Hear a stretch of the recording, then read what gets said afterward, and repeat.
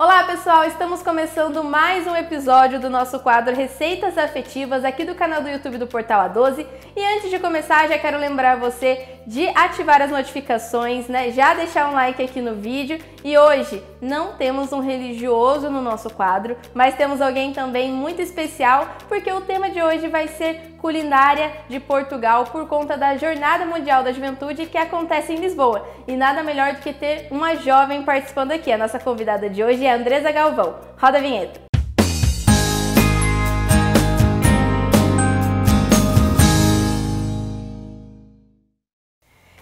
Falei, pessoal, a nossa convidada de hoje é Andresa Galvão. Andresa, seja bem-vinda ao nosso quadro Receitas Afetivas. Muito obrigada, Leis. É um prazer estar aqui hoje para estar cozinhando e conversando com você.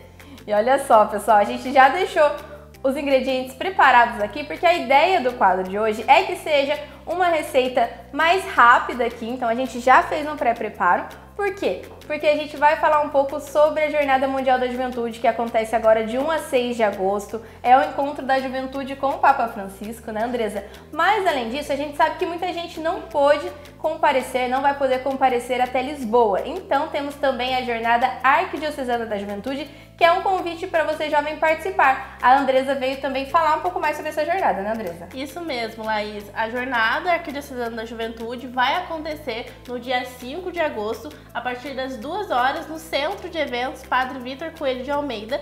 E é um encontro onde toda a juventude da Arquidiocese de Aparecida vai se reunir para estar tá comemorando, festejando e rezando, né? Então, quando está acontecendo lá em Lisboa, aqui em Aparecida a gente vai estar tá junto como igreja para estar tá comemorando também.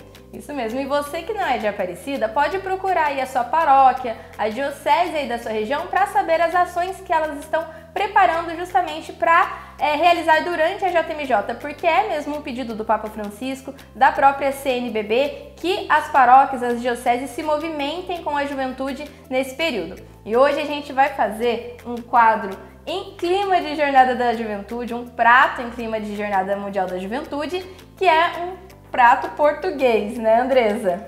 O nome é francesinha pra gente, mas lá eles falam francesinha. Então, a gente não sabe muito bem aí falar na entonação do português, mas a gente espera agradar todo mundo, né, Andresa? Exato, e eu espero que fique gostoso também, como em Portugal. Exatamente. E para o prato de hoje, a gente vai precisar de linguiça, salsicha, um bife de alguma carne da sua preferência, ovo frito, o ovo é opcional. Se você não gostar, não precisa colocar, mas a gente achou também que o prato fica bem bonito com o ovo. Temos o queijo mussarela, fatia de queijo, fatia de presunto. Aí a gente vai preparar o molho. O molho é bem a gosto mesmo, com o seu tempero, com os detalhes que você gosta de fazer no seu molho. E também o pão de forma, que é o, a, o item essencial desse prato. Como eu falei lá no início, pessoal, nós já deixamos pré-preparados os nossos ingredientes, né? Cada coisa que a gente vai precisar para essa receita. Então já cozinhamos e fritamos a linguiça e a salsicha e também já cortamos para caber certinho ali no nosso pão na hora da montagem. Fritamos também o bife e o ovo. Já o presunto e o queijo já são frescos mesmo porque eles vão na hora que a gente finaliza a montagem do prato antes de ir para o forno. O que ficou faltando aqui a gente preparar, que a gente vai preparar com vocês, né, Andresa? É o molho, ela vai me ajudar aqui. E o molho é muito a critério de vocês. A gente é, vai preparar o nosso aqui do nosso jeitinho, né? Mas você aí de casa, se quiser fazer o molho branco, pode fazer. Se quiser fazer o molho vermelho mais adocicado ou do jeito que você gosta aí na sua casa, mais apimentado, também pode fazer.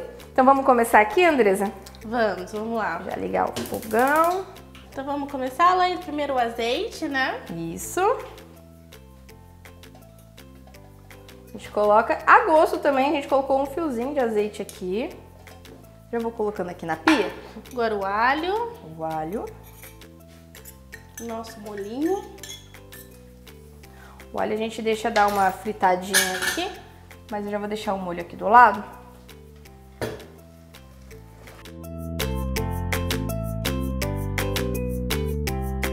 Um melzinho. Um melzinho agora para dar um toque doce, cortar um pouco do ácido, né, do, do nosso molho aqui. Então a gente optou por colocar mel. Você pode colocar açúcar também na sua casa, se você quiser. Se você não gosta, também não tem problema. É muito do seu gosto. E isso a gente vai mexendo aqui também, né, Andresa? Isso. E agora os temperos também, né, Laís? Exatamente. A gente separou alguns temperos aqui para dar um sabor no nosso molho, né? Que a gente utilizou aqui o molho pronto. Tem gente que também prefere fazer com a polpa, então precisa de um tempero diferente com a polpa, porque a polpa geralmente vem ainda mais ácida, né? Então precisa de um tempero diferente. A gente, como já fez um pronto, né, Andressa? Uhum. Vamos lá Aqui. primeiro. Um alho fritinho.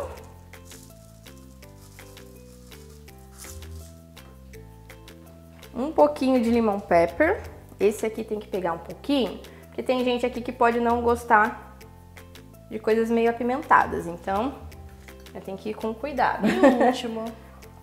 E o último, que é o chimichurri, que eu particularmente adoro. Você gosta? Eu gosto também, Laís.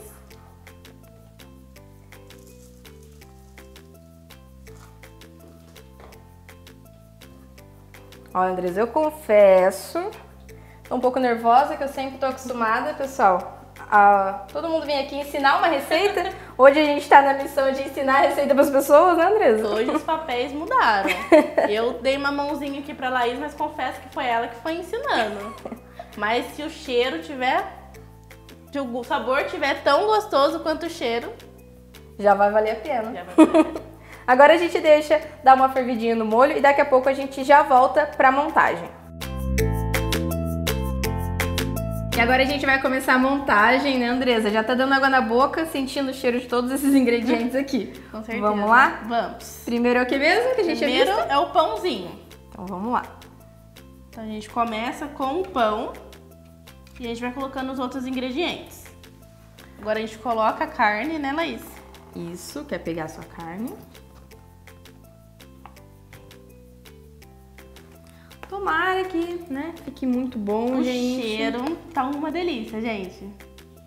Vocês podem cortar também a carne aqui. Aqui a gente cortou a casca do pão, então o pão ficou um pouquinho menorzinho, mas você pode fazer com casca aí se você quiser também. E se for da sua vontade, você pode cortar a carne igual a gente cortou aqui a linguiça e a salsicha, que são os próximos itens Isso. da nossa montagem. Então agora vai mais uma camada de pão, Laís, pra gente colocar os outros ingredientes.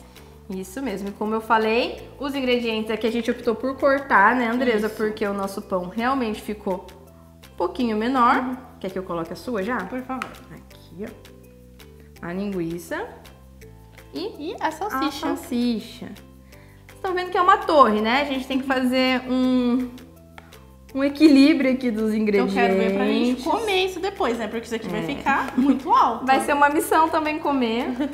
Assim como a missão dos jovens de ir para a Jornada Mundial da Juventude, nós temos uma missão aqui que é cortar sem desmanchar no final, né, Andresa? Sim.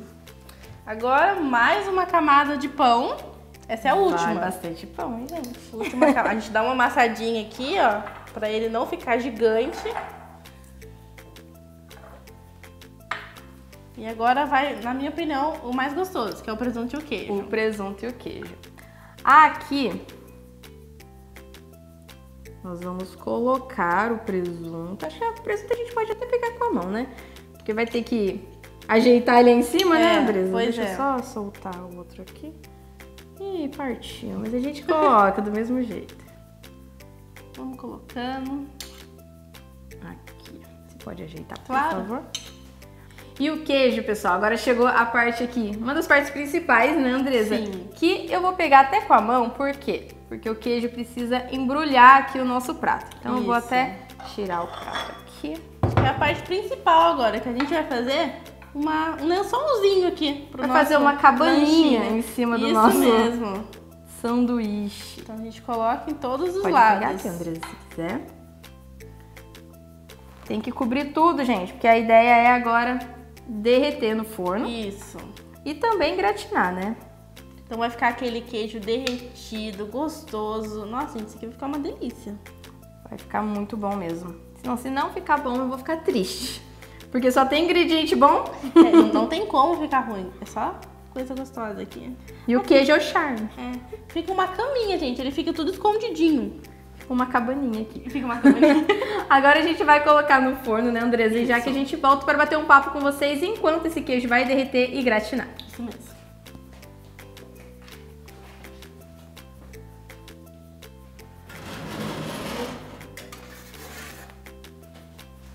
Então, gente, como a gente deixou ali no forno, o nosso prato, enquanto derrete o queijo, enquanto gratina o queijo, a gente vai conversar um pouco sobre essa expectativa de vivenciar esse encontro com os jovens, né, Andresa?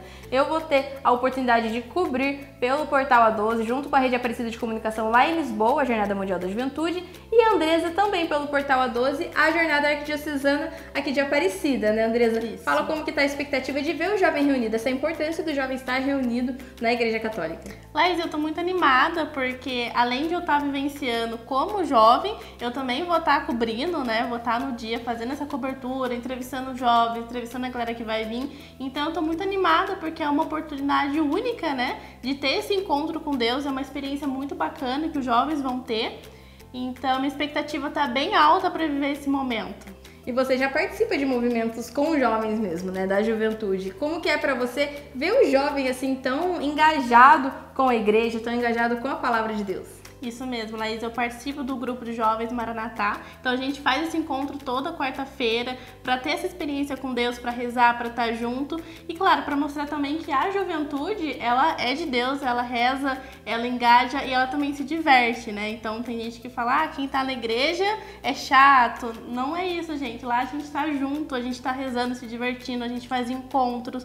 Então é muito bacana, é muito divertido também. E é muito bom ter amigos que nos levam para a santidade. Eu acho muito bacana isso, ver que a, a, nossa amizade ela pode ser algo muito além, né? Ela pode ser nos levar para o caminho de Deus. Exatamente. O Papa Francisco, ele fala muito que a juventude é o futuro da igreja, mas a juventude também é o presente da igreja, porque se o jovem não está hoje dentro da igreja, ele pode não estar depois. Então esse é o momento da gente se engajar mesmo, né? De estar nos grupos, de participar, de desco descobrir mais sobre a palavra de Deus. Nunca é tarde, é claro. Que depois de mais velho você também pode. A gente passou aí pelo Dia Mundial dos Avós e dos Idosos, que a gente fala muito da importância da pastoral dos idosos, mas quando você é jovem, você tem até mais energia para você conseguir aprender e ensinar outras pessoas. Então por isso que é legal o jovem estar tá reunido, né? Um sabe de uma coisa, ensina o outro. Então isso é muito legal. Laís, e falando de Papa, São João Paulo II falava que a igreja só será jovem quando o jovem for igreja. Então isso é um chamado para nós jovens, para que a gente se engaje cada vez mais, é, fique por dentro dos assuntos da igreja, que são assuntos muito importantes, tanto na vivência do evangelho, quanto da gente criar também uma igreja missionária, uma igreja em saída. Então, o Papa Francisco ele também nos convida para que a gente possa todos realmente aí ser igreja. Exatamente. E outro pontinho aí que o Papa Francisco sempre fala é para o jovem estar com o coração aberto para ouvir o que Deus tem a nos dizer, tanto como vocação, né, que é algo muito importante nas nossas vidas, quanto até para o nosso lado pessoal mesmo, nosso íntimo, trabalhar o nosso espiritual. Então é importante que nós, nós é, manter, é, mantermos assim o nosso coração aberto para é, realmente absorver tudo que Deus tem a nos dizer. E agora, Andresa, vamos fazer uma pausa já pra gente ver se o nosso prato ficou pronto, porque senão vai que agora a gente deixa queimar e bota tudo a perder, né? Meu Deus, o cheirinho aqui já tá delicioso. Vamos lá ver como é que tá, Laís? Vamos.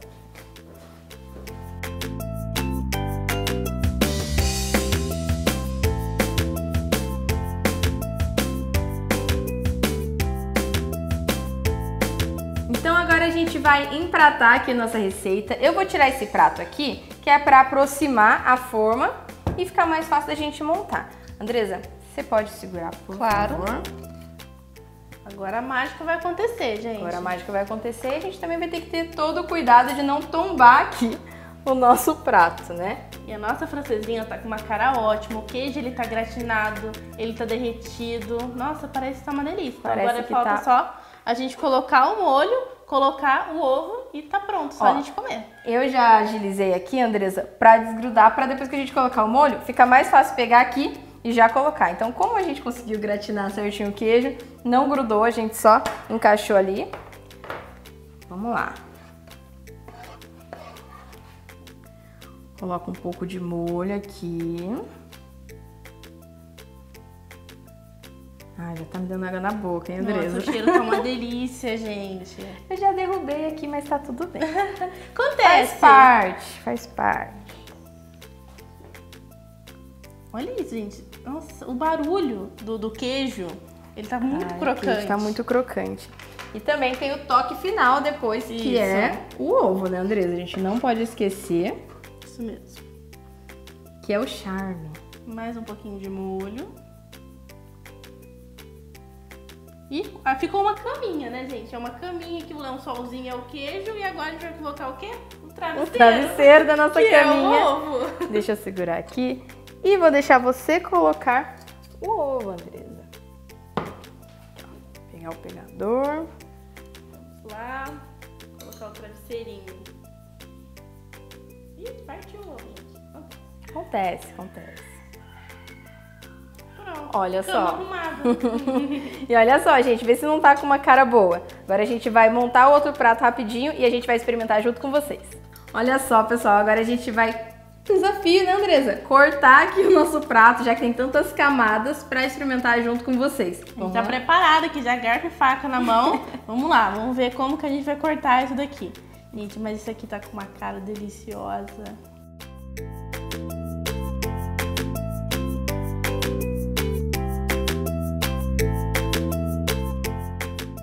Conseguiu? Consegui cortar. A missão é difícil. E agora a parte mais gostosa, Leis? Experimentar.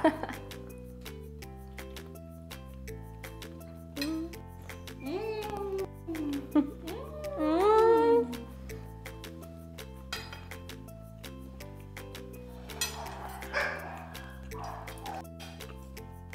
Sem palavras. Sem palavras, de mastigar.